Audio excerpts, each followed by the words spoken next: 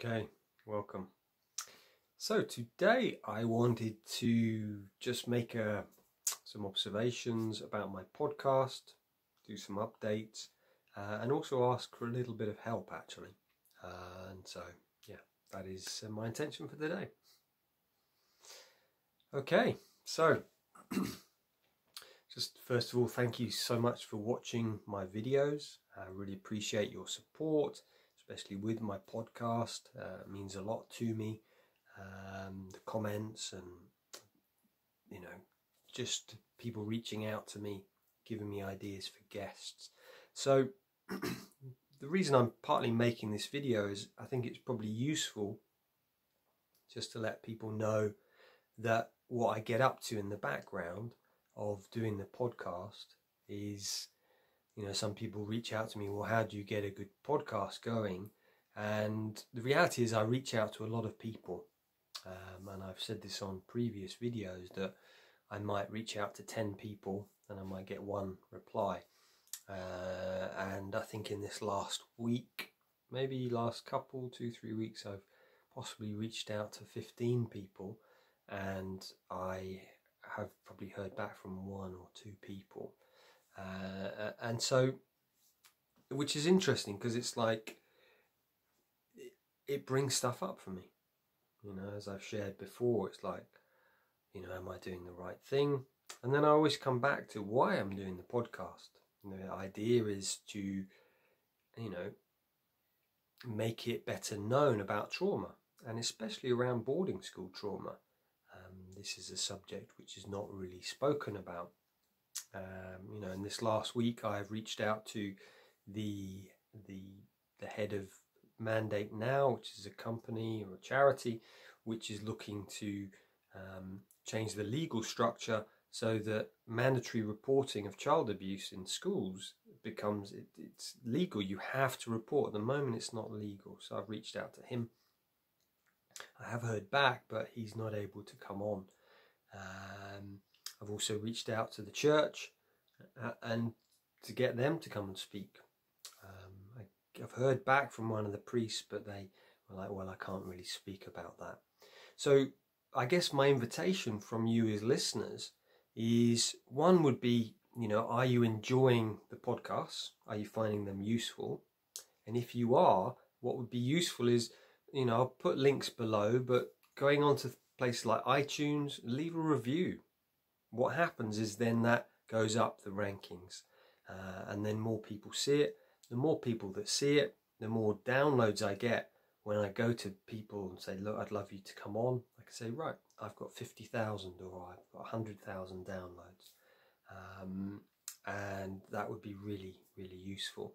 Another way is of helping me is if you have ideas for guests. I do event uh, from time to time. People do reach out, say, what about speaking to this person? Or you might listen to a podcast or know someone and you think, oh, they would be great um, to speak about trauma, you know, some of the topics, men's psychology.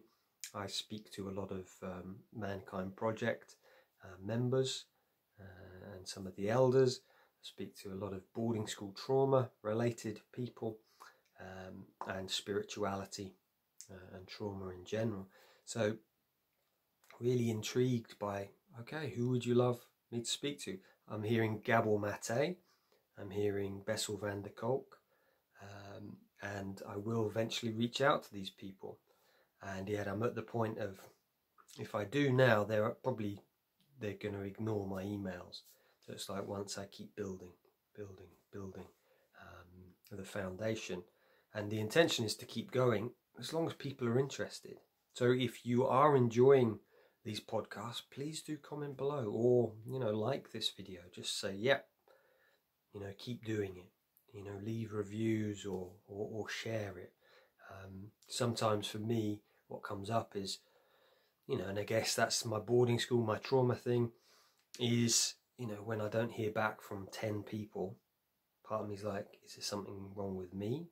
Um, you know, um, and I can get a little bit deflated so sometimes it's like, okay, I've just spoken to a client who says, oh, I love your podcast. So that's really useful for me to hear. It's like, okay, I'll keep going. And that's definitely my intention to keep going with this because I see, yeah, um, as I shared in my video last week, the world's in crisis at the moment. And therefore, we need to be having these conversations, talking about trauma. That, yeah, why do we keep creating these crisis points? What's going on within us, especially our leaders that are creating these things? Are our leaders traumatized? And, you know, that is something I would suggest is yes, a lot of our leaders are traumatized. Uh, and that's why having these conversations is so important.